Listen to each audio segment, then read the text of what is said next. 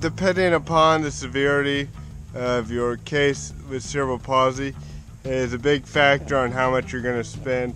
It also has to do with you know how much you want to spend and how much you want to help your cerebral palsy.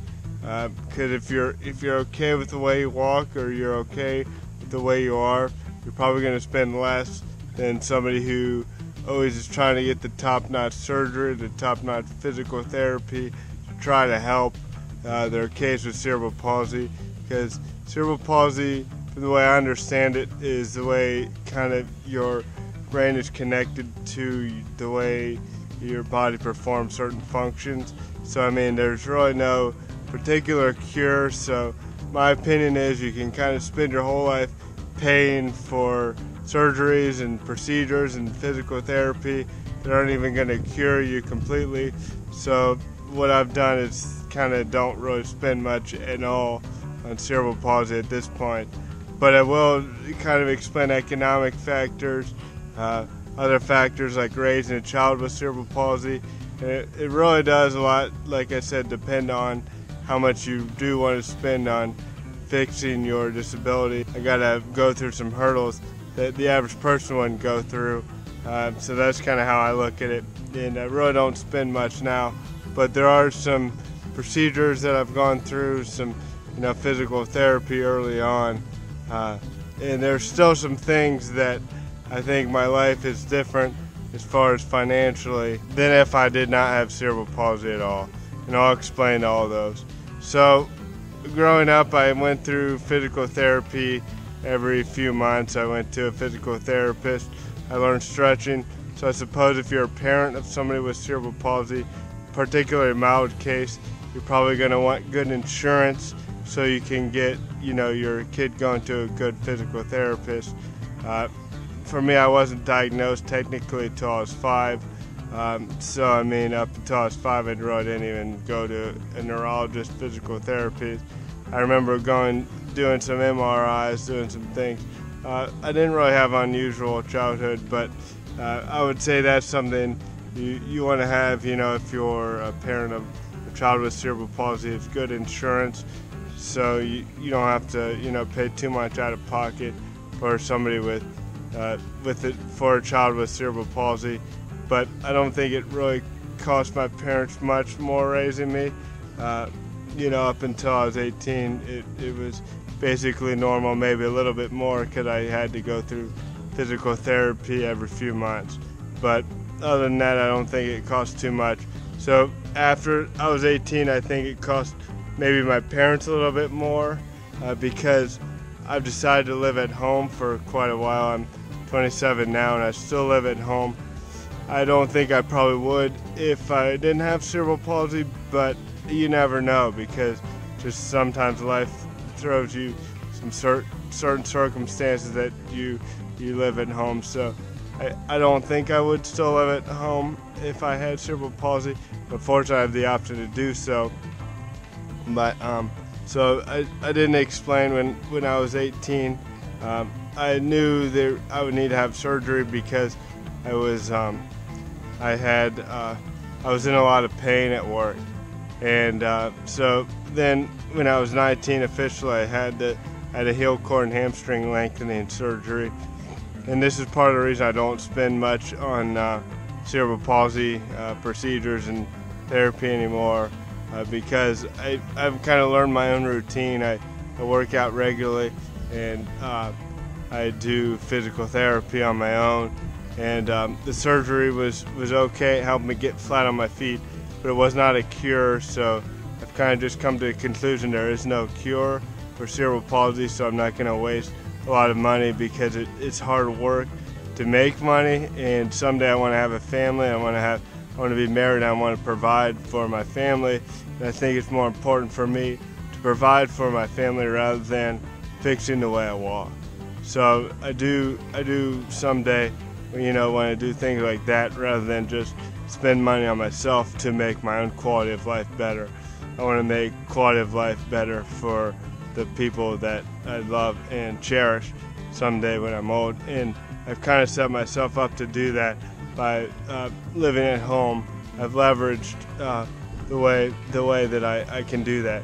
And um, another thing, you're you're so I've kind of gone into some negative things.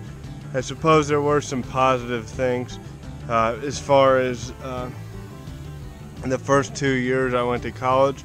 I got a, a scholarship of basically a full ride, and you know, school is always challenging for me, so that was kind of an economic change. I don't know if I would have gone to college had I not gotten a two-year full ride scholarship, and that was primarily because I had a disability.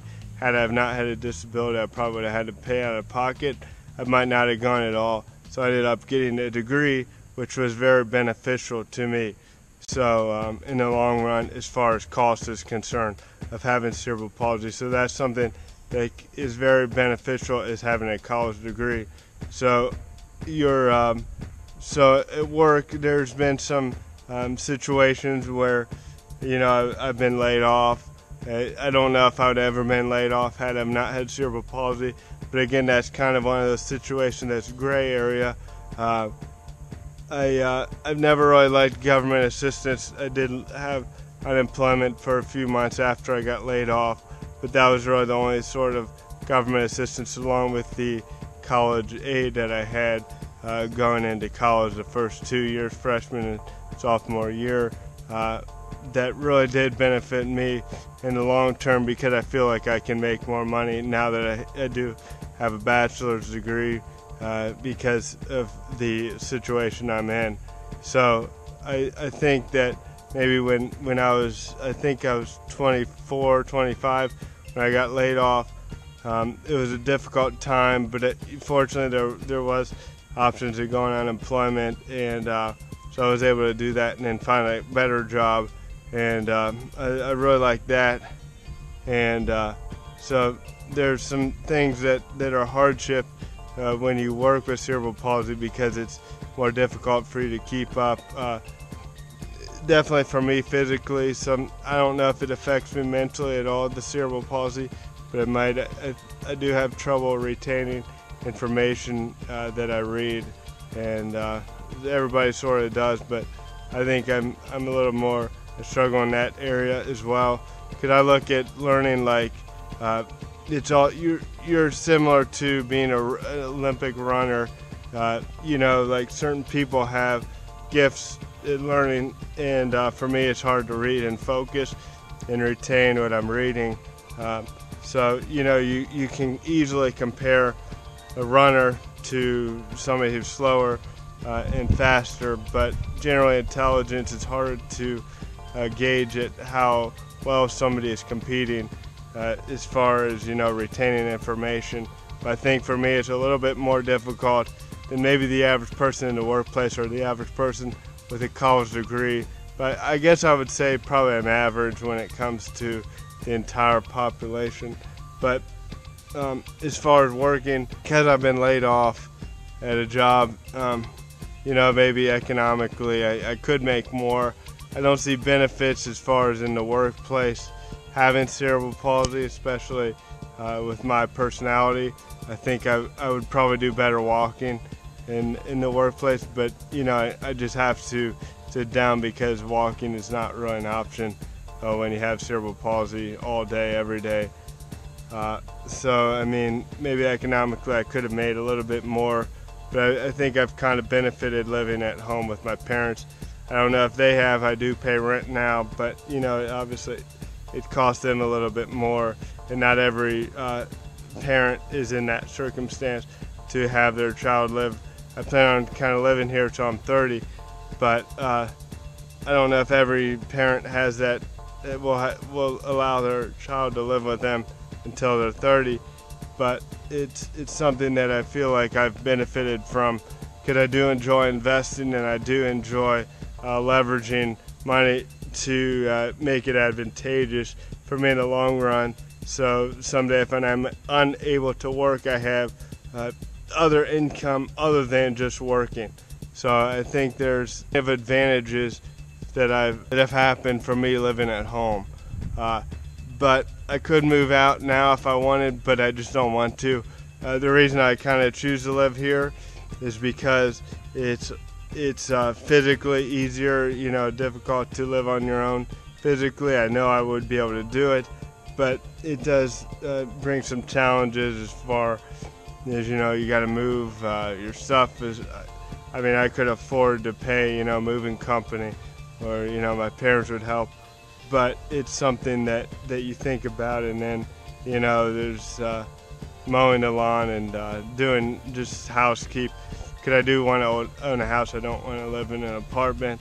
Um, so I mean, there, there's a lot of things that are associated with home ownership that uh, are physically demanding that that would be challenging for me so I, I want to get myself in a good situation where I don't really have to move a lot where I basically move one time in my life so I think by the time I'm 30 I'll, I'll be able to you know get get enough uh, you know where I can buy a pretty decent house that I'll probably live at for the rest of my life uh, obviously you never know certain circumstances happen that you might not see.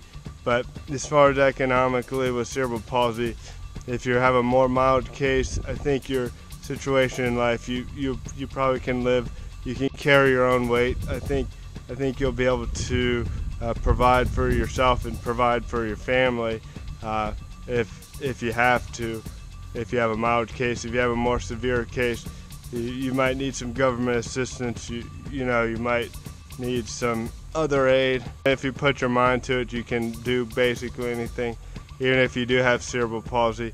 Uh, and I, I, think it's important to have that mindset to not let others get you down. Because I know it's frustrating sometimes, you know, I'll, I'll trip in public or uh, some there'll be some uncomfortable situations primarily because of my disability. It's easy to get frustrated, but it's just something that you can't do. You got to find something that really does motivate you and uh, make you more alive because there's a lot of people who don't get aren't motivated by what they do. It's important to be motivated by what you do.